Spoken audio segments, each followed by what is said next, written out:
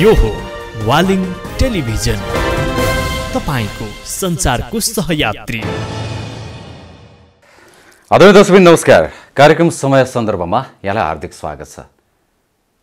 समय अनि सान्दर्भिकतासँगै उठेका विविध सवालहरूको सम्बन्धित व्यक्ति पक्ष वा निकायसँग जवाफ खोज्दै एउटा निचोडमा पुग्ने यो ध्येय बोकेको कार्यक्रम समय सन्दर्भ वालिङ टेलिभिजनबाट प्रसारण हुँदै आइरहेको छ।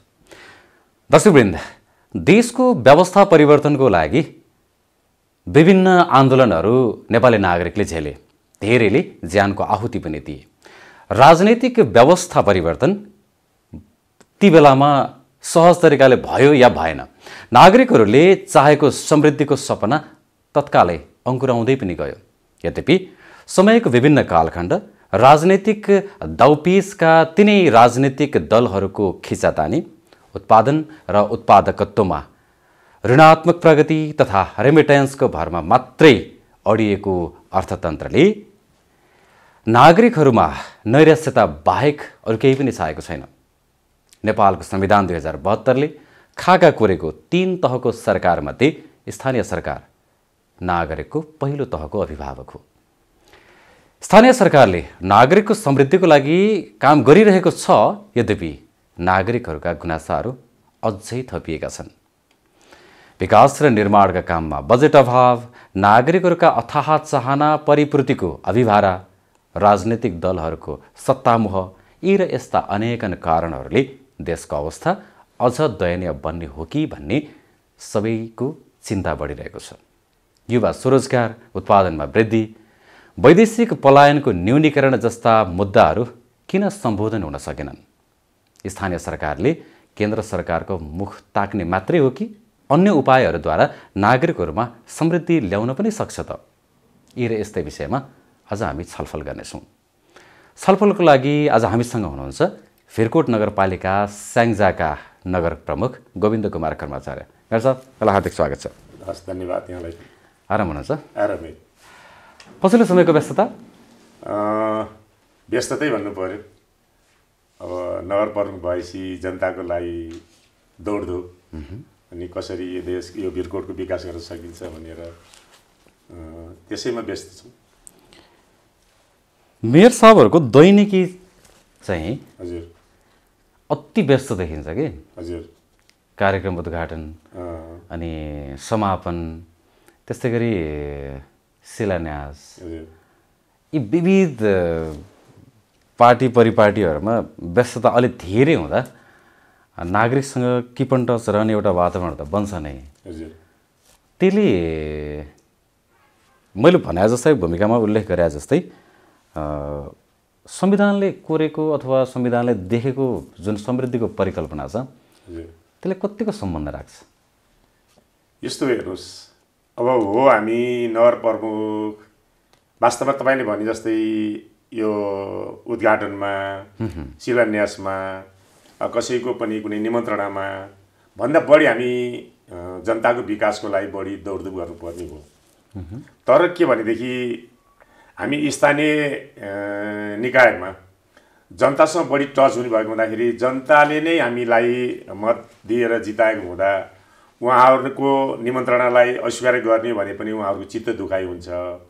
त्यसपछि अब जनताले के हामीले के चाहन्छौँ? हामी म आफै पनि के चाहन्छु भने सकेसम्म यो उद्घाटन शिलान्यासमा कम जाने। वडा अध्यक्षज्यूहरूलाई नै तपाईँहरूले नै गर्नुहोस् भनेर मैले यो बारम्बार भनिरहेको पनि छु। तर उहाँहरू के भन्नु छ भने होइन जनता मान्दैनन्। नगर प्रमुख नै जनताले खोज्ने भएको हुँदा तपाईँ आइदिनु पर्ने हुन्छ। तपाईँ नआएदेखि जनता गाह्रो मान्छन् भन्ने भएको हुँदाखेरि यसले गर्दाखेरि हामीलाई अलिकति अप्ठ्यारो त परेको छ। किन हामीले जे हिसाबले हामी ज यो नगरको लागि विकासको लागि बढी दौडधुप गर्नुपर्ने बढी त्यतातिर चिन्तनशील हुनुपर्ने बेलामा हामी त्यतातिर जाँदाखेरि हामीलाई अलिकति समयले पनि अप्ठ्यारो परिरहेको छ। किन हामीले बढी समय जनतालाई दिन नसकेको अवस्था छ। फेरि नागरिकहरू बेसी चाहन्छन् त मेयर सबै आइदिनु पऱ्यो हो त्यही त मैले उपमेयर भनिसकेँ नि। अब नारीहरू चाहन्छन् आफ्नो अब पूजामा होस् अथवा आफ्नो कुनै कार्यक्रममा होस् आफूले निमन्त्रणा गरेको ठाउँमा नगर प्रमुख नै आइदियो हुन्थ्यो भने जनताको चाहना हुन्छ। यदि हामी उहाँ गइदियौँ भने उहाँहरू के छ भने उहाँ खुसी हुनुहुन्छ। र जनतालाई कसरी खुसी बनाउने भन्ने कुरो हाम्रो एउटा त्यो ध्येय पनि हो। अथवा जनता खुसी भयो भने पनि हामी पनि खुसी हुन्छौँ। जनता नै यो भिरकोट नगरपालिकाको जनता नै खुसी भएन भने हामी यो कुर्चिया बसेको के महत्त्व भयो र त्यसरी जनता कसरी खुसी हुन्छ त्यो पनि हाम्रो एउटा दायित्व र कर्तव्य हो। जनतालाई खुसी बनाउनु त्यसैले हामी जानु पर्यो पनि हुन्छ। समृद्धिको कुरा अलिक पछाडि गरौँला हजुर। मैले भूमिकामा फेरि पनि त्यो त्यो पक्षलाई उजागर गरेँ। भूमिकामा भने जस्तै संविधानले तोकेको खाका कोरेको या तपाईँ निर्वाचित भएर यो मेयरको कुर्सीमा बसिसके पछाडिको परिपाटीलाई अलिक पछाडि जोडौँला तर अगाडि भनौँ न व्यस्तताको कुरा गऱ्यौँ हामीले नागरिकको खुसीको कुरा पनि गऱ्यौँ उनीहरूको दुःख सुखको एउटा अभिभावक स्थानीय सरकार हो त। अनि त्यो अभिभावकत्व तपाईँसँग छ। छ। कहिलेकाहीँ अल्छी लाग्दैन? कहिलेकाहीँ अल्छी लाग्दैन? लाग्दैन। यहाँलाई भनौँ म बिहान ठिक पाउने दस बजे यो अफिसमा आएको हुन्छु। र साँझ छ सात बज्छ। र कहिले अफिसको काममा भने कहिले जनतासँग भेटघाटको काममा यसरी समय गइरहेको छ। मलाई कति पनि अल्छी लाग्दैन। म जनतासँग जे जति उहाँहरूसँग नजिक हुन्छु अथवा उहाँहरूसँग उहाँहरूको घर दैलोमा जान्छु उहाँहरूसँग भेटघाट गर्छु मलाई खुसी लाग्छ। अलिकति पृष्ठभूमि खोजौँ न उसो भए। यो मेरो लिस्टमा यो प्रश्न जिज्ञासा त थिएन यद्यपि हजुर। राजनीतिमा तपाईँको प्रवेशीकरणको अथवा मेयर बन्छु भन्ने हजुर। जुन ध्येय अथवा एउटा उद्देश्य जुन बोक्नुभयो त्योभन्दा अगाडिको राजनीतिक पृष्ठभूमि बुझौँ न। म राजनीतिमा त हेर्नुहोस् धेरै अगाडिदेखि लागेको मान्छे हुँ। म दुई हजार छत्तिस सालदेखि नेपाली काङ्ग्रेसको एउटा सक्रिय राजनीतिमा लागेको मान्छे हुँ र पार्टीको एउटा क्रियाशील सदस्य पनि हुँ। त्यस बेलादेखि नै म राजनीति प्लस समाजसेवा पनि लागेको हुँ। भने मैले योभन्दा अगाडि पनि इन्टरभ्यूमा दिइरहेको छु। म पच्चिस वर्षको उमेरदेखि समाजसेवामा लागेको मान्छे हुँ। पच्चिस वर्षमा म वडा अध्यक्ष भएको थिएँ भने तिस एकतिस वर्षमा म उपप्रधान पञ्च भएको थिएँ पञ्चायत कालमा पनि। भने त्यसपछि जब देशमा बहुदलीय व्यवस्था आयो छ्यालिस साल त्यसपछि म दुई पटक साबिक दार्सिङ दहथुम गाविसको गाविस अध्यक्ष भएर दस वर्ष मैले जनताको लागि सेवा गरेँ। भने र मेरो पृष्ठभूमि प्लस यो मात्रै नभएर म एउटा व्यापारी पनि हो। किनभनेदेखि राजनीति मात्रै गर्दाखेरि राजनीति मात्रै खान त दिँदैन।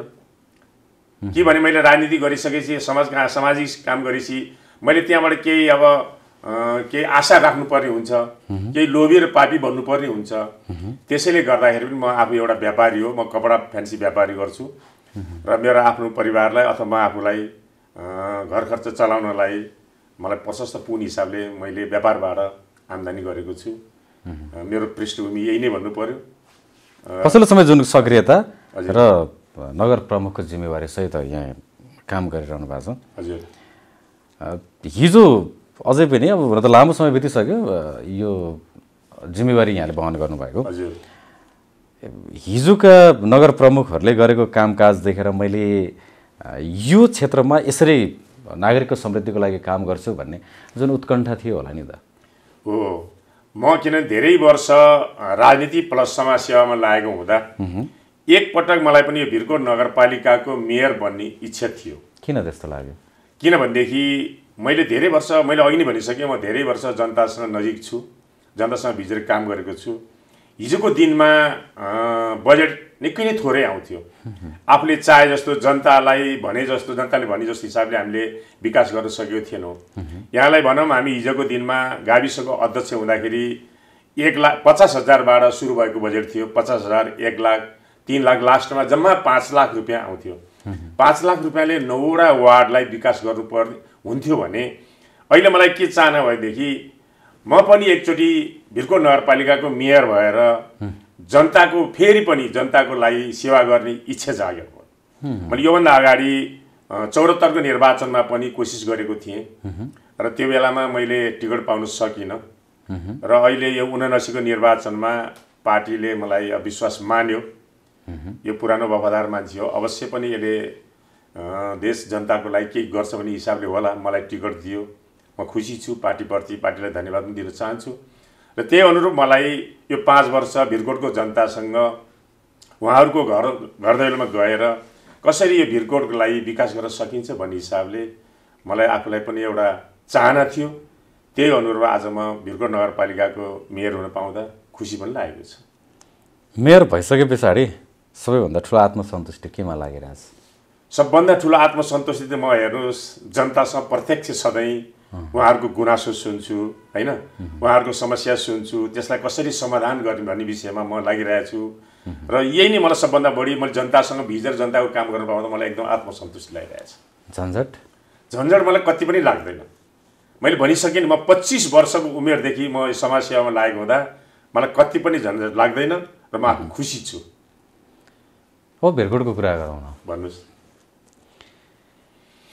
नागरिकको समृद्धिको लागि जति योजना बजेट कार्यान्वयन नीति निर्माण कार्यक्रमहरू तय गरिएका छन् नि। हजुर। पर्याप्त छन् भन्ने लाग्छ। तपाईँ मेयरभन्दा बाहिर गएर सोच्दाखेरि? छैन हजुर। किनभने किन गर्नुपर्ने काम धेरै छ। तर बजेट सीमित आउँछ।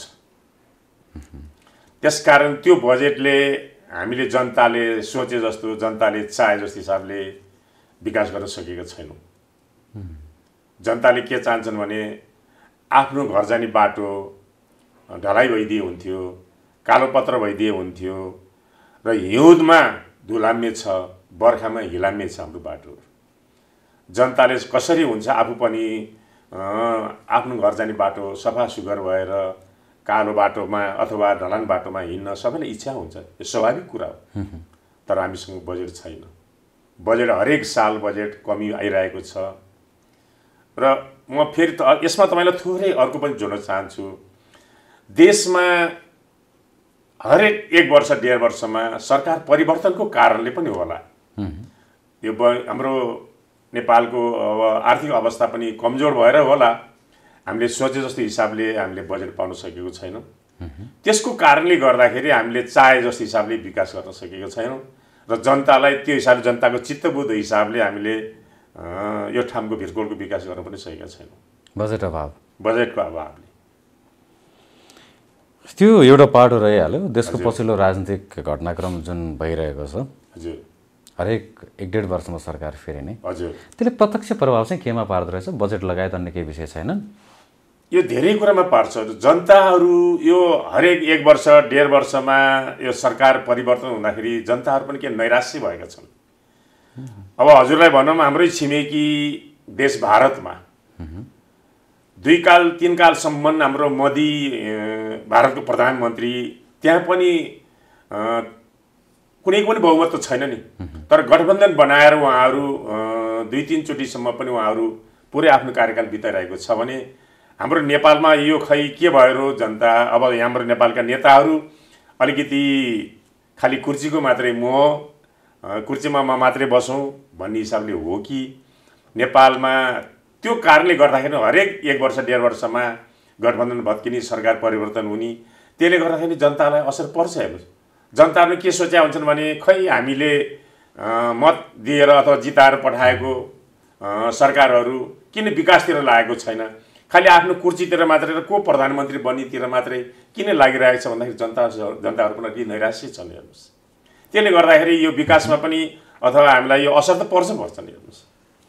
बजेट नआए पछाडि हजुर। काम गर्न यसै पनि सहज छैन। सहज छैन हजुर। तर आएका बजेटहरूको कार्यान्वयन गर्दाखेरि हजुर।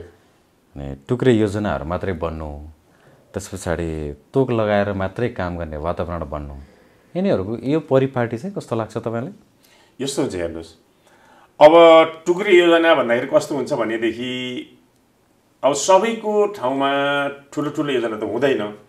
जनताहरूलाई कतिपय हामीले वडा अध्यक्षहरूलाई त्यो कुरा हामीले उहाँहरूलाई निर्देशन गरे हुन्छौँ। सकेसम्म यो टुक्री योजना सानो योजनातिर तपाईँहरू हात नहाल्नुहोस्। अलिकति ठुलो ठुलो जनतालाई सिधै प्रत्यक्ष पर्ने अथवा उहाँहरू सिधै फाइदा हुने हिसाबले काम गर्नुपर्छ हामीले देखाउनुपर्छ भनेका हुन्छौँ। तर के हुन्छ भनेदेखि अब कुनै ठाउँमा एक लाख रुपियाँको सानो काम भए पनि गरिदिनु पर्ने हुन्छ कुनै ठाउँमा दुई चार लाखको गर्नुपर्ने हुन्छ। त्यो नगर्दाखेरि जनताहरू के हुन्छ अलिकति चित्त दुखाइ हुन्छ। अनि वडा अध्यक्षहरूसँग हजुर। सिलिङ बजेट पनि तर धेरै हुँदैन। सिलिङ बजेट त हामीले उहाँहरूलाई अब कुनै सानो वडालाई तिस लाख दिएको हुन्छौँ ठुलो वडालाई चालिस लाख दिएको हुन्छौँ। यो मात्र होइन वडा अध्यक्षलाई सिलिङ दिएर पनि हामी नगर्ने मैले छुट्टै फेरि यहाँबाट हेर्नुहोस् उहाँहरूले सम नसमेट्न नसकेको ठाउँमा फेरि नगर्ने हामीले काम गरेका हुन्छौँ।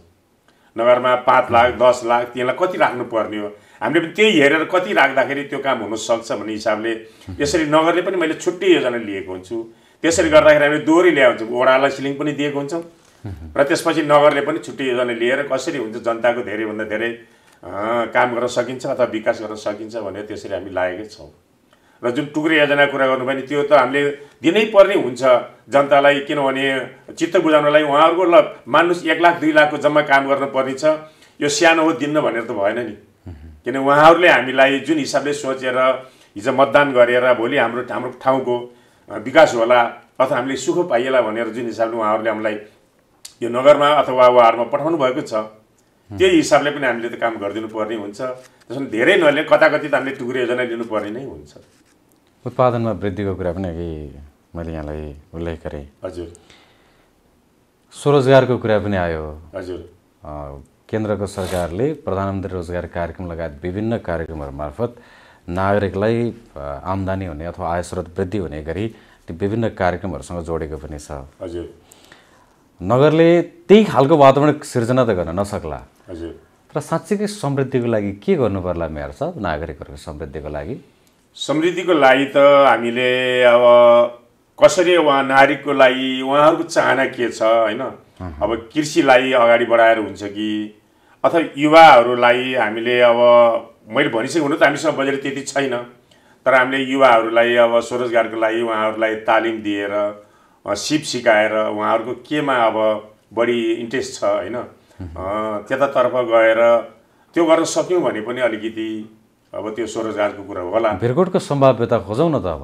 पर्यटकीय क्षेत्रको वृद्धि या त्यसको प्रवर्धनबाट हुनसक्छ कृषिबाट हुनसक्छ पशुपालनबाट हुनसक्छ। तपाईँ नगर प्रमुखको हैसियतले के देख्नुहुन्छ? हामीले अब कृषितर्फ पनि विशेष जोड दिएका छौँ र पशुपालनमा पनि दिएका छौँ हेर्नुहोस्। हामीले गाईमा भैँसीमा अनुदान दिएको छौँ बाख्रामा दिएको छौँ कुखुरामा दिएको छौँ बङ्गुरमा दिएको छौँ सुन्तला खेतीमा दिएको छौँ अनुदान दिएको छौँ। कसरी यहाँको जनतालाई समृद्धि गराउन सकिन्छ यहाँको जनतालाई स्वरोजगार बनाउन सकिन्छ भनेर हामी लागेका छौँ त्यसमा हामी दत्तचित्त भएर हामी चिन्तित छौँ गरेको छौँ। तर पनि जनताले चाहे जस्तो हामीले सोचे जस्तो त्यो हुन सकेको छैन। रिजल्ट किन आएन त्यसो भए नतिजा? अब यस्तो भयो हेर्नुहोस् अब सबै कुरा भन्नु पर्दाखेरि के भने कतिपय ठाउँमा त के छ भने अझै पनि हामीले सिँचाइको व्यवस्था गर्न सकेको छैनौँ। र कतिपय ठाउँमा तपाईँको अहिलेको कुरा गर्ने भनेदेखि जुन तत्काल आइरहेछ यो बाँदरको समस्या आइरहेको छ। जनताहरूलाई अब कृषि गरेर के गर्नुहुन्छ? कृषि त गरेको छ। हामीले अब जनतालाई अनुरोध गरेका छौँ तपाईँहरू कृषितिर बढी अग्रसर हुनुपर्छ भनेका छौँ। तर गाउँमा के छ बाँदर आतङ्कले गर्दाखेरि त्यो बाली लगायो लगायो अनि बाँदरले बाली जति जम्मै अब नष्ट बनाइदिएपछि खाइदिएपछि जनता के गर्ने त्योभन्दा कृषि नै नगरिकन छोडेर जनताहरू अहिले विस्थापित सहरतिर विस्थापित हुनुपर्ने एउटा समस्या त्यो आइरहेको छ। अर्कोतर्फ कतिपय ठाउँमा अझै पनि हामी अब हाम्रै यहीँको कुरा गर्ने भने यस पारी हाम्रै बारी सिमल चौर फाँड छ हिउँदमा पुरै सुक्खा छ। हामी सिँचाइको लागि अब सरकारसँग अनुरोध बजेट माग्छौँ। चार पाँच करोडभन्दा कमले त्यसलाई छुँदैन। सरकारले बजेट राखिदिन्छ माथिबाट जम्मा पच्चिस लाख बिस लाख पैसा राख्छ। एक छेउ हुँदैन। त्यसले गर्दाखेरि जनता कतिपय बाली हाम्रो हिउँदे बाली तपाईँको नलाइकन सुक्खा त्यत्तिकै राखिराख्नु पर्ने अवस्था छ। यसले गर्दाखेरि पनि हामीले जनतालाई अझै उहाँहरूले सोचे जस्तो उहाँहरूले चाहे जस्तो हिसाबले अगाडि लैजान सकेको छैनौँ। त्यसैले नतिजा आउन सकिरहेको छैन। हजुर। बजारीकरणका कुराहरू पनि आउन सक्छन्। भिरकोट नगरपालिकाले हाट बजारको पनि उद्घाटन केही समय अगाडि गरेको थियो। हजुर। अनि भनौँ न अनुदानका कुराहरू पनि आफ्नो ठाउँमा छँदैछन्। हजुर। कि तिनीहरू फलदायी साबित हुन नसक्नुमा नागरिकको चाहना बढी हुनु या त्यसलाई अनुत्पादक रूपमा प्रयोग गरिदिनु? के लाग्छ तपाईँलाई? हामीले अब किसानलाई अब तपाईँ धानमा अनुदान दिएका छौँ त्यसपछि गएर मकैमा दिएका छौँ गहुँमा दिएका छौँ अनि गएर तपाईँ आलुमा दिएका छौँ भएन भनेर तरकारी लगाउनुहोस् तपाईँहरू तरकारी गरेर आफूलाई पनि खानुहोस् बजारमा पनि बेच्नुहोस् भनेर निशुल्क तरकारी पनि अस्ति भर्खर पनि वितरण गरेको छौँ। र हामीले तपाईँलाई भने चाहिँ हामीले हाट बजारको व्यवस्था पनि सुरु गऱ्यौँ। पहिला पनि गरेको थियो। कोभिडको कारणले रोकिएको थियो। फेरि अहिले सुरु गऱ्यौँ। तर जनताहरूले के भनेदेखि भन्नुहोला भनेदेखि हामीले अरू बेलामा तरकारी नगरले नलिएको बेलामा सिधै बजारमा लगेर दिनुपर्ने भएको हुँदा त्यसकारण त्यहाँ हप्ताको एकचोटि अथवा दुईचोटि ल्याएर त्यहाँ हामीलाई फाइदा हुँदैन भने जनताको एउटा त्यो चाहना छ भने अहिले अब व्यापारीहरू पनि बजारमा कस्तो छ भन्नु होला नि बजार एकदम शून्य छ व्यापार मन्द छ कतिपय घरहरू हेर्नुहोस् अब सटर खाली छ यहाँ मात्रै होइन देशैभर यो सबै आर्थिक मन्दीको कारणले होला अथवा विदेशबाट आउने रेमिटेन्सको कमीको कारणले होला गर्दा होला भनौँ न। यस्तो समस्या छ। यसले गर्दाखेरि बजार एकातिर बजार व्यापारमा मन्दी छ भने किसानहरूले पनि आफूले खेती गर्यो गर्यो गर्यो अनुसार त्यसको प्रतिफल नपाएको कारणले पनि होला। जुन तपाईँले अघि अब हाम्रो हाट बजारको कुरा गऱ्यो भने हामीले किसानलाई भनेको थियौँ लिएर आउनुहोस् तपाईँहरूको के गर्नुपर्छ? तरकारी लिएर आउनुहोस् बेच्नुहोस् यदि बिक्री भएन भने हामी नगरपालिकाले खरिद गरिदिन्छौँ। तपाईँलाई त्यसको प्रत्यक्ष फेरि त्यसको कति पैसा हो हामी पैसा तिर्छौँ। तपाईँहरूले फेरि फिर्ता लिएर जानु पर्दैन भनेर भन्दाखेरि पनि किसानहरू खै किन हो त्यसमा अझै पनि अगाडि बढ्न नसकेको अवस्था छ। नागरिकहरूले यही कुरामा अलि अल्झिरहेँ म पनि यो हजुर। जिज्ञासाको वरिपरि हजुर। अझै स्पष्ट के हुन खोजिरह्यो भने म चाहना अपार अथवा धेरै राख्ने हजुर। अनि नगरपालिकासँग सामान्य कामको लागि पनि हारगुहार गर्ने हजुर। दिएका अनुदानहरू लगायतका विभिन्न कार्यक्रमहरू अनुदान मात्रै होइन अन्य विविध कार्यक्रमहरूमा सहभागी बन्ने तर त्यसको सफल कार्यान्वयनमा ध्यान नदिने या त्यो इन्ट्रेस्ट कम राख्ने चाहना कम राख्ने। त्यो विषयले नागरिकहरू अलिक बढी नगरपालिका केन्द्रित त्यो चाहना केन्द्रित हुने र आफूले गर्न नखोज्ने भएर हो जस्तो लाग्छ कहिलेकाहीँ? या के छ? होइन त्यस्तो त होइन होला। भए नागरिकहरूले नगरपालिकाप्रति चाहना राख्नु होइन अथवा अनुदान माग्न आउनु यसलाई त मैले सामान्य लिन्छु किनभने यो उहाँहरूको अधिकारको कुरा पनि हो। किनभने नगरपालिका भनेको एउटा यस्तो संस्था हो। पुरै उहाँले नगरपालिकाले आफ्नो जस्तो उदाहरण मेरो भिरकोट नगरपालिका कुरा गरौँ भिरकोटको नौवटा वडाका जनताहरूलाई यो नगरले कसरी उनीहरूको सेवा सुविधा उनीहरूलाई सहयोग गर्न सकिन्छ भनेर हामी अब बसेको छौँ भने उहाँहरूले पनि चाहना राख्नु स्वाभाविक हो। तर पनि उहाँहरू हामीले जे हिसाबले हामीले गरिरहेछौँ जनतालाई कसरी अब हाम्रो भिरकोट जनतालाई कृषिमा लगाएर अथवा हरेक कुरामा भनौँ उहाँहरूलाई अगाडि ला- सबभन्दा त अब हामी कृषि प्रधान देश भएको हुँदा हामी कृषिमै बढी फोकस गरिरहेका छौँ। र पनि जनताहरू खै अब हामीले सोचे अनुसार कृषिमा अझै अगाडि जान सकेको छैन। भने अर्कोतर्फ मैले के देखेको छु भने अलिकति जुन गर्न सक्ने जोस जाँगर भएका युवाहरू जति जम्मै विदेश पलाइन्छन् हेर्नुहोस्। घरमा बुढाबुढी बुबा आमा मात्रै हुनुहुन्छ अनि उहाँहरूले अहिलेको ज कस्तो छ भन्नु होला भने अब मान्छे ज्यामी पाइँदैन आफू काम गर्न सक्ने अवस्था छैन त्यो नभएको कारणले पनि एउटा समस्या त्यो पनि आइरहेछ। अब युवाहरू यहाँ बसेर उहाँहरूले सोचे अनुसार अँ, त्यो अनुसार रोजगारी पाउन सकेको पनि छैन। त्यो नभएपछि यसो हाम्रो युवाहरू मात्रै नभएर प्लस टू पास गर्यो विद्यार्थीहरू पनि अनि विदेश जाने अनि युवाहरू पनि यहाँ केही पनि हुँदैन भनेर आफूले सोचे जस्तो चाहना गरे जस्तो यहाँ नेपालमा नभएपछि युवाहरू पनि विदेश जाने स्वाभाविक हो। त्यसले गर्दाखेरि अहिले गाउँमा बुढाबुढीहरू मात्रै छन् र उहाँहरू के गर्ने? अब खेती गर्नलाई आफूमा शक्ति छैन होइन? अनि पैसा जहाँ पैसा लगाएर खेती गरौँ भनेदेखि अब पैसा पनि हुनु पर्यो। आर्थिक त सबैलाई समस्या छ। त्यो कारणले गर्दाखेरि पनि यो भइरहेको छ। भिरकोट नगरपालिकाले आफ्नै आम्दानीको लागि विभिन्न कामहरू त गरिरहेछ स्क्रिनिङ मसिन जोडेर होइन। हजुर। लगायत अन्य कामहरू पनि गरिरहेको छ। त्यो बाहेक अरू केही थप्न अझै बढी आम्दानी गरौँ भन्ने योजनाका केही छन् परिकल्पनाहरू हामीले वास्तवमै भिरकोटमा आम्दानीको स्रोत केही छैन हेर्नुहोस्। एउटा हाम्रो मभन्दा अगाडिका नगर प्रमुख आदरणीय छायाराम खनालजीको पालामा एउटा ग्रेजी स्किनिङ भाइब्रेसन मेसिन राखेको छ। त्यसले हामीलाई वर्षको बढीमा एक करोड रुपियाँ जति मात्रै आम्दानी दिएको छ। र हामीले अब त्यसमा झन्डै झन्डै सत्तरी पर्सेन्ट जुन त्यहाँ ढुङ्गा गिटीहरू हुन्छ त्यो वेस्टेज गइरहेको छ। भने अब त्यो सत्तरी पर्सेन्ट ग वेस्टेज गइरहेको छ त्यसलाई पनि अब हामी कसरी फेरि अब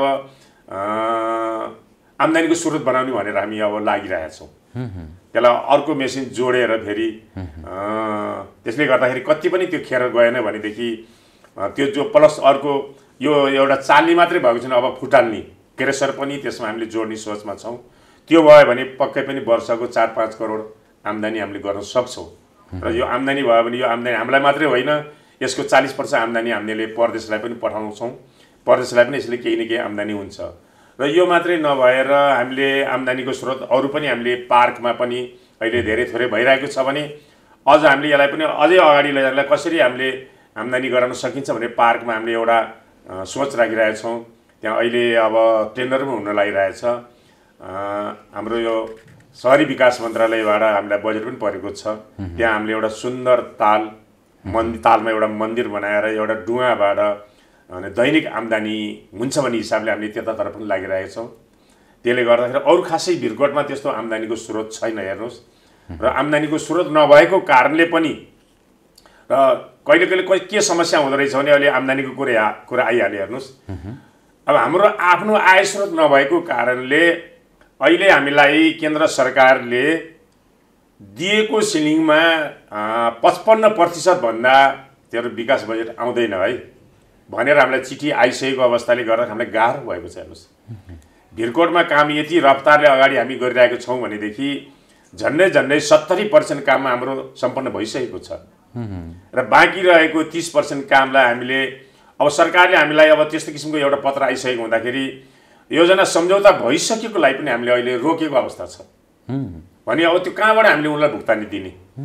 यो सत्तरी पर्सेन्ट जुन काम समाप्त भइसकेको छ त्यसलाई पनि पैसा दिन अप्ठ्यारो भइरहेको छ। यदि आफ्नै आय स्रोत भएको भएदेखि त हामीले आफ्नो आम्दानीको स्रोतबाट पनि दिन सक्थ्यौँ। नेपालका कुनै पनि स्थानीय तहका आफ्नै आम्दानी भएका त भनौँ न आत्मनिर्भर भएका पालिकाहरू त छैनन्। छन् हजुर। छन्? छन् छन्। अब तपाईँलाई काठमाडौँ महानगरपालिका छ केन्द्रको भाग छोडेर। सुन्नु न काठमाडौँ महानगरपालिका छ पोखरा महानगर उपमहानगरपालिका छ भैरवा छ जनकपुर छ वीरगञ्ज छ ठुलो ठुलो छन् नि। तिनले पनि केन्द्रको बजेट त प्रयोग गर्छन् गर्छन् तर पनि उनको आफ्नै आय छ नि। केन्द्रबाट कहिले कहिले हामीलाई जस्तै बजेट अब कटौती भएर आउँदाखेरि उनीहरूलाई केही फरक पर्दैन। तर हामी जस्तो एउटा के अरे सानो नगरपालिकामा आय स्रोत न- नभएको नगरपालिकालाई त धेरै गाह्रो हुन्छ नि। भने अब काम सम्पन्न भइसकेछ त्यो भुक्तानी कसरी दिने? किन उपभोक्ता समितिले काम गर्दाखेरि अब रड होस् अथवा सिमट होस् अनि ढुङ्गा गिटी बालुवा होस् अथवा ज्यामी होस् उनीहरूलाई त पैसा दिनुपर्ने हुन्छ नि। पैसा नदिए उता व्यापारीले अत्याउँछ उता ज्यामीले अत्याउँछ भने अब कहाँबाट दिने? अनि उनीहरू नगरपालिका हामीसँग आउँदा हामीसँग दिने अब आम्दानी पैसै नभएपछि हामीले कहाँबाट दिने? यो समस्या भइरहेको छ। योजनाहरू रोक्नुपर्ने बाध्यता? हजुर बाध्यता भनेको किनभनेदेखि माथिबाट अब हामीलाई झन्डै झन्डै पैँतालिस वर्ष रकम आएन भनेदेखि अनि भोलि हामीले कहाँबाट भुक्तानी गर्ने? त्यो कारणले हामीले के भने जुन जुन योजनाहरू सुरु भइरहेको छ काम सुरु गरेको छ त्यसलाई हामीले सम्पन्नतिर लागेको छौँ। जुन योजना सम्झौता मात्र भएको छ काम सुरु गरेको थिएन अहिले हामीले झन्डै झन्डै एक महिना भइसक्यो हामीले रोकिदिएको छौँ। यो अवस्था छ। यसो हेर्दाखेरि अब कसरी चलाउन सकिएला भन्ने के अत्यास? अहिले जतिसम्म हामी कुराकानी गऱ्यौँ नि हजुर। समृद्धिको कुरा गऱ्यौँ स्वरोजगारको कुरा गऱ्यौँ होइन? त्यसै गरी रेमिटेन्स कम भएको कुरा गऱ्यौँ देशको पछिल्लो राजनीतिक अवस्थाको प्रभाव स्थानीय तहमा कस्तो हुन्छ भन्ने लगायतको पक्षमा पनि हामी पुग्यौँ। हजुर। यी सबै कुराहरू सुन्दै गर्दा भन्दै गर्दा अबको गन्तव्य चाहिँ के हुन्छ हो? के लाग्छ तपाईँलाई? खै यस्तै हिसाबले गयो भनेदेखि त देश कसरी चल्ला? हुन त देशको अब आम्दानीको स्रोत भनेको अब करै उठाएर हो। अब मैले सुने अनुसार अस्ति न न्युजमा सुने अनुसार एक खरब कति अरब चाहिँ अब उहाँहरूले उठाउनु पर्ने रकम पनि नउठेको कारणले गर्दाखेरि होला भनौँ। हाम्रो विशेष गरी आम्दानीको स्रोत भनेको त भन्सार अथवा तपाईँको मादक पदार्थ रक्सीबाट चुरोटबाट यिनैबाट ट्याक्स बढी आएर हो। अहिले यदि यस्तै हो भनेदेखि हेर्नुहोस् अब कर्मचारीलाई तलब खुवाउने पनि अवस्था गाह्रो छ हेर्नुहोस्। शिक्षा शिक्षकहरूलाई कर्मचारीहरूलाई अब हामीले कहाँबाट तलब खुवाउने? यदि यसरी नै हो भने यदि अब रकम हाम्रो नआउने हो भनेदेखि गाह्रो छ हेर्नुहोस्। हामी तलब खुवाउनु पनि सक्ने अवस्था छैन। यो स्थिरता ल्याउनुको लागि के गर्नु पर्ला त नि जसो भए? के देख्नुहुन्छ तपाईँ? अब सरकारले विशेष पहल गर्नु पर्यो अब आम्दानी अब देशको लागि कसरी अलिकति यो निजी स्रोत व्यापारीहरूलाई भनौँ न उद्योगपतिहरूलाई नेपालमा भित्राउने एउटा वातावरण गराउनु पर्यो उद्योगपतिहरूलाई तर मैले अस्ति भर्खरै हाम्रो एउटा कार्यक्रममा सुनेको हाम्रो देशको जुन अहिले अब अलिकति यो संशोधन नगर्ने भनेदेखि ठुला ठुला व्यापारीहरू बाहिरको व्यापारीहरू नेपालमा भित्रिने अवस्था छैन। त्यो नभएपछि देशमा उद्योग कल कारखाना नै अब राम्रोसँग चल्न सकेन भएन भनेदेखि कहाँबाट आम्दानी हुन्छ? आम्दानी नै नभएपछि अनि सरकारले पनि कसरी हामीलाई पैसा दिने? यी विविध समस्याहरू छन्। हेर्नुहोस्। स्थानीय तह समृद्धि हुन समृद्ध हुनको लागि अथवा तपाईँले भिरकोटलाई समृद्ध भिरकोट बनाउनको लागि हजुर। अन्य पालिकाहरूको कुरा छोडौँ न। हजुर। केही केही शीर्षकहरू हामी छोइयौँ मात्र। अलिक निचोडको कुरा गर्दा भेरकोटलाई समृद्ध बनाउनको लागि एउटा स्थानीय तह अन्य तहहरूभन्दा फरक र आत्मनिर्भर बन्नको लागि भेरकोटकै मामिलामा कुरा गर्दा के के गर्नु पर्ला त उसो भए? भिरकोट आफै समृद्धिमा जानको लागि त हामी सबभन्दा पहिला त कृषिमै बढी आत्मनिर्भर हुनुपर्छ। किनभने यहाँ अरू आय स्रोतको बाटो मैले देखेको छैन। कृषिमा बढी आत्मनिर्भर हुनुपर्छ। त्यसो हामी पर्यटनमा पनि हामीले अलिकति यसलाई बढ्नुपर्छ। पर्यटनतिर पनि हामी अलि लाग्नुपर्ने हुन्छ किन यहाँ विभिन्न अब मठ मन्दिरहरू छन् गुफाहरू छन्। यहाँ हाम्रो अँ, गणेर गुफाहरू छ त्यसै प्याराग्लाइडिङहरू छ। यतातिर प्या भने हामी यतातिर पर्यटनतिर पनि बढी लाग्ने। त्यसपछि गएर कृषिलाई नै बढी हामीले प्राथमिकता दिएर त्यतातिर लाग्ने भनेदेखि केही न आत्मनिर्भर हुन सक्छौँ कि जस्तो लाग्छ। अरू हाम्रो यहाँ अब तपाईँको उद्योग कल कारखाना भन्ने कुरो त केही पनि छैन। र यहाँ खोल्न मेटेरियलको कच्चा मेटेरियलको कारणले गर्दाखेरि पनि यहाँ त्यस्तो हुने सम्भावना मैले देख्दिनँ। विशेष गरी हामी कृषिमै जोड दियौँ भने हामी केही न केही त्यसको आत्मनिर्भर लागि त फेरि जनशक्ति हुनु पर्यो काम गर्ने किसानहरूको सङ्ख्या बढ्नु पर्यो या त्यसको विदेश पलायन हुनु भयो भने काम गर्न सक्ने मान्छेहरू। अब त्यसको लागि त कस्तो भयो भने हेर्नुहोस् अब तराई जस्तो मुलुक भएदेखि त मेसिनहरूबाट विभिन्न कामहरू हुन्छ। हामीले विदेशतिर हामीले कहिले कहिले अब टेलिभिजनहरू देखा हुन्छौँ ट्र्याक्टरबाटै जम्मै उनीहरूले लगाएको हुन्छ। ट्र्याक्टरले मिसिनले काटेको हुन्छ। गोडमेल मिसिनले गरेको हुन्छ। त्यो पनि हाम्रो यहाँ त सम्भव छैन। हामी त पाहाडै पाहाडले घेरेको छ भिरकोट नगरपालिका। अनि त्यो पनि एउटा गाह्रो छ। धेरै सपनाहरूको बिचमा वास्तविकता कति पर छ। योजनाहरूको बिचबाट त्यो वास्तविकता अझै कति पर छ। अनि थकाइ लाग्दैन यो सोच्दा थकाइ यस्तो हेर्नुहोस् थकाइ त्योभन्दा पनि मलाई थकाइ होइन म चिन्तित छु। सुत्छु राति म हेर्नुहोस् लगभग बाह्र एक बजीदेखि मलाई निद लाग्दैन हेर्नुहोस्। किनभने बढी सोचाइले गर्दाखेरि। अब दुई वर्ष भइसक्यो लगभग हामी आएको निर्वाचित भएर आएको अब तिन वर्ष बाँकी छ। मैले जे जति दुई वर्षमा अहिले हामी काम गरिरहेछौँ निकै अगाडि गइरहेछौँ बढिरहेछौँ हेर्नुहोस्। यथार्थ भन्नै पर्छ हेर्नुहोस् हाम्रो भिरकोट नगरपालिकामा अहिले त तपाईँ आउनुभयो वाली टिभीले कहिले कहिले हाम्रो दिन्छ न्युजमा। नत्र हाम्रो कुनै अब यहाँ भिरकोटमा पत्र पत्रकारहरू छ त्यति खासै छैन न्युज अनि टिभी छैन रेडियो छैन त्यो कारणले पनि हामी अलिकति अगाडि देखिन नसकेको। नत्र काम धेरै गरेको छौँ। र मलाई के लाग्छ भने हेर्नुहोस् राति बाह्र एक बजीदेखि नै निद लाग्दैन। अब तिन वर्ष बाँकी छ। यो तिन वर्षमा मैले के गरेर भिरकोटको जनतालाई अलिकति सुखी बनाउन सक्छु? कसरी यहाँ विकासले अगाडि बढ बढ बढ्न सकिन्छ विकास गरेर अगाडि बढ्न सकिन्छ भन्ने विषयमा विशेष चिन्तित छु। त्यो कारणले गर्दा मलाई थकाइ होइन बढी चिन्ता छु। हजुर। हुन्छ अब आम्दानीको पाटोको कुरा पनि गऱ्यौँ हामीले नागरिकको समृद्धिको कुरा पनि गऱ्यौँ। हजुर। वैदेशिक प्लानलाई कम कसरी गर्ने भन्ने विषयमा पनि केही विषयमा हामी संवादात्मक प्रयास यहाँ गरेर रह्यौँ। अन्य विविध विषयहरू छोडेर हजुर। यो बिचमा म द नेक्स्ट स्टेपमा जान चाहन्छु केही विकल्पसहितका प्रश्नहरू हजुर। म यहाँको अगाडि राख्छु आफ्नो विचार पनि राख्ने समय म यहाँलाई उपलब्ध गराउनेछु। पच्चिस वर्षको उमेरदेखि म समाजसेवा र राजनीतिमा होमिएँ भन्नुभएको छ नि। हजुर। अनि त्यो राजनीतिमा आउनुको कारणहरू चाहिँ के के हुन सक्छन् त? दुईवटा विकल्पहरू छन् मसँग। सेवा कि सामर्थ्य? सेवा। किन? सेवाको लागि आइरहेको छु म। सामर्थ्यलाई मात्र पनि। सेवाको लागि मेयर त अलि दमदार पद हो नि। होइन हेर्नुहोस् म सेवाको लागि किनभने मैले भनिसकेँ नि म मेयर नभए पनि गाविस अध्यक्ष उपप्रधान पञ्च भएर म कुर्सीमा बसिसकेको छु। त्योभन्दा पनि मलाई के भने सेवाको लागि कसरी भिरकोटको जनतालाई मैले सेवा गर्न सक्छु सेवा दिन सक्छु कसरी जनताहरूसँग नजिक भएर उहाँहरूको दुःख सुखमा साथ दिन सक्छु भन्ने हिसाबले म मेयर पदमा आएको मेयर स्थानीय सरकारको भूमिका कस्तो हुनुपर्छ? भनेर एउटा प्रश्न छ मसँग। मसँग दुईवटा विकल्प छन् यसका। भान्से कि पहरेदार? पहरेदार। किनभने हामी भान्से भएर केन्द्रले दिएको बजेटलाई बाँड्न मात्रै आएको होइन हजुर। हामी पहरेदार हो जनताको लागि पहरेदार हो।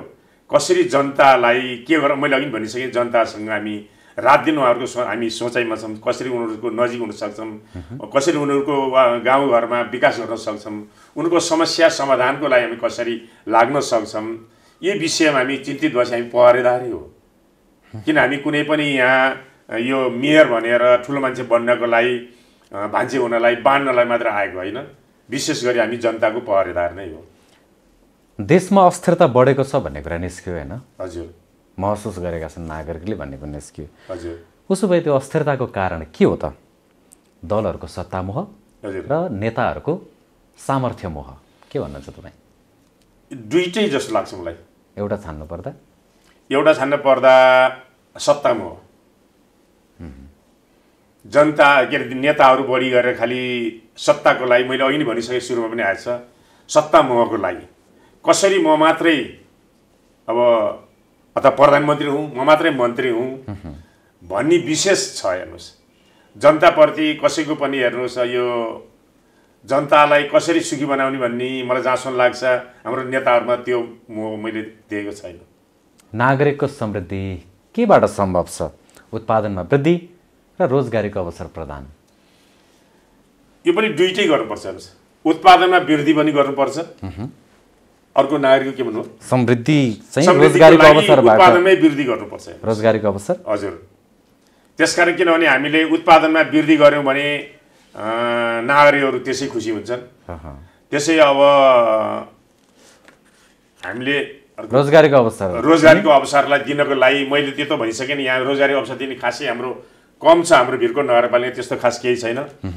त्यो त रोजगारी अवसर दिने भनेको मैले भने नि कृषि हो अनि बाख्रा पालन भैँसी पालन सुन्तला खेती यिनीहरू एउटा हाम्रो विकल्प भनेको त्यसले गर्दाखेरि कसरी हुन्छ हामी बढी जनताको लागि अब उत्पादनमै बढी जोड दिनुपर्छ। उत्पादनमा जोड दियौँ भने हाम्रो जनताहरू अथवा हाम्रो नागरिकहरू त्यसै सुखी हुन्छ। त नेक्स्ट स्टेप सकिएको छ। म। अलिकति अगाडि देशको पछिल्लो राजनीतिक कालखण्ड अथवा राजनीतिक परिपाटीले स्थानीय तहको सरकारमा परेको प्रभावको बारेमा हामी केही कुरा त गऱ्यौँ। हजुर। त समाधानका केही विषयवस्तु पनि उठायौँ। अझै यसमा तपाईँलाई स्पष्ट केही अथवा तपाईँलाई बाँकी तपाईँका समस्याहरू अनि ती कुराहरू त आफ्नो ठाउँमा छन्। त स्थानीय सरकारको प्रमुख भइरहनु भएको छ। त्योभन्दा अगाडि अन्य भिरकोट नगरपालिकाको समृद्धिमा शिक्षा स्वास्थ्य अथवा पूर्वाधार विकास यी लगायतका पक्षहरू मैले यो विषयमा केही छुट्याएको छु भने तपाईँले भन्न चाहेको कुरा केही छ? छ। हामीले शिक्षामा पनि निकै नै अब कोसिस गरिरहेका छौँ। भिरकोटमा शिक्षालाई कसरी अब राम्रो गराउन सकिन्छ शिक्षाको गुणस्तर कसरी वृद्धि गर्न सकिन्छ भनेर त्यतातर्फ हामी चिन्तित छौँ लागिरहेकै छौँ। त्यस्तै स्वास्थ्यमा पनि हामी लागिरहेकै छौँ। कसरी भिरकोटको जनताहरूलाई स्वास्थ्यमा स सर्वसुलभ हिसाबले कसरी हामीले अनि औषधिमा केही न केही अब सस्तो सुलभ बनाउन सकिन्छ भनेर हामी लागि परेकै छौँ। हाम्रो भिरकोट नगर अस्पतालमा हामी बेला बेलामा हामीले केन्द्र अथवा पोखरातिरबाट हामीले डाक्टरहरूको एउटा टोली मगाएर शिविर राखेर हामीले जनतालाई कसरी सेवा सुविधा दिन सकिन्छ लागिरहेछौँ। त्यस्तै गरेर कृषिमा लागिरहेछौँ। अनि तपाईँको पर्यटनमै लागिरहेछौँ।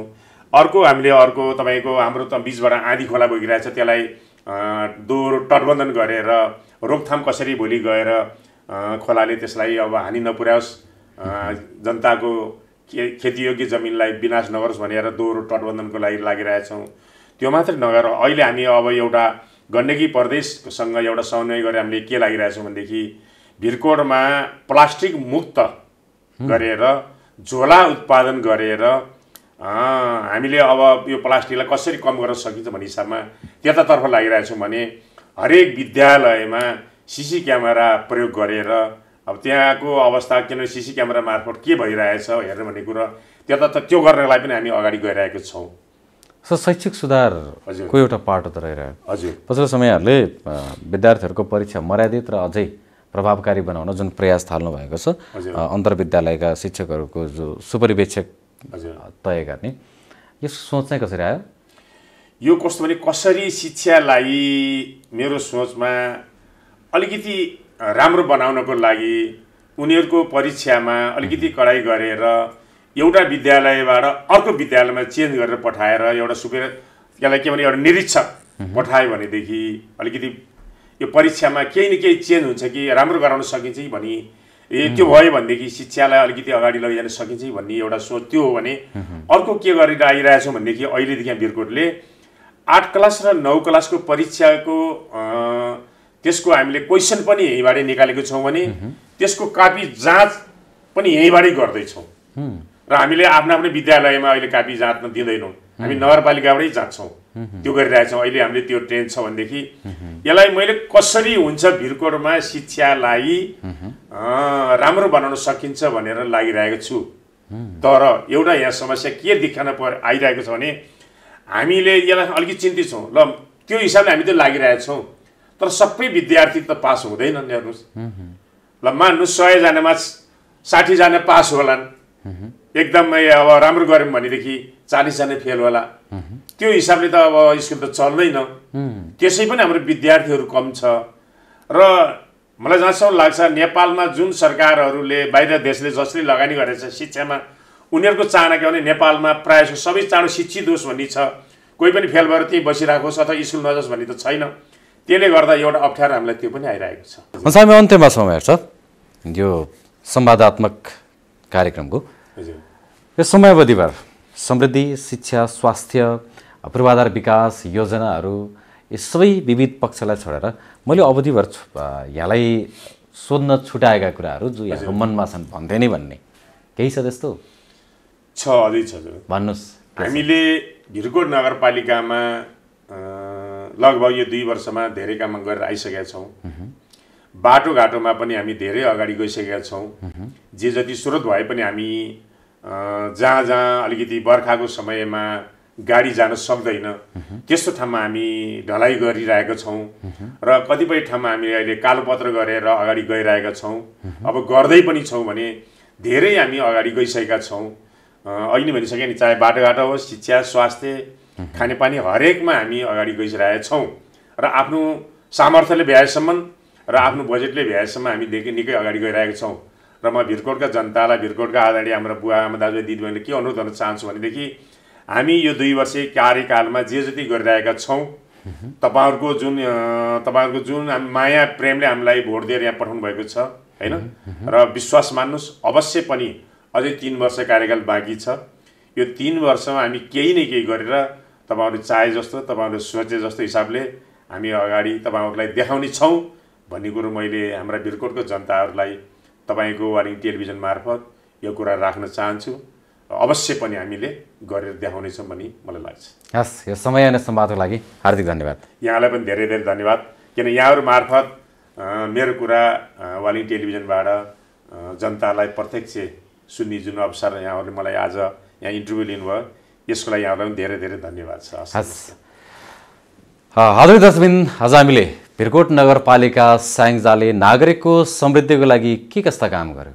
बाटोघाटो निर्माण नागरिकका साना चाहनादेखि ठुला योजनाहरूसम्म भिरकोट नगरपालिकाले आफ्नो अभिभावकत्व कुन हदमा निभाउन सक्यो त? त्यो दायित्व कति जिम्मेवारीपूर्ण तरिकाले वहन गर्न सक्यो त? यो विषयमा हामीले कुराकानीको प्रयत्न गऱ्यौँ नागरिकको समृद्धिको लागि त्यति पर पुग्न आवश्यक छैन। साना कामहरू सहज र प्रभावकारी ढङ्गले गर्न सकेको खण्डमा पनि नागरिकले समृद्धि पाएको महसुस गर्न सक्छन् भन्ने आजको यो कार्यक्रमको अथवा छलफलको सन्दर्भबाट निस्केको निचोड रहेको छ। आजको एपिसोडबाट हामी बिदा हुने बेला भइसकेको छ। अर्को एपिसोडमा फेरि नयाँ विषयवस्तु नयाँ व्यक्तित्व र परिवेशको छलफलसहित फेरि पनि उपस्थित हुनेछौँ। तपाईँ पनि हेर्दै गर्नुहोला वालिङ टेलिभिजन। आजको एपिसोडबाट हामी सबैलाई आज्ञा दिनुहोस्। नमस्कार। यो हो वालिङ टेलिभिजन। तपाईँको सञ्चारको सहयात्री।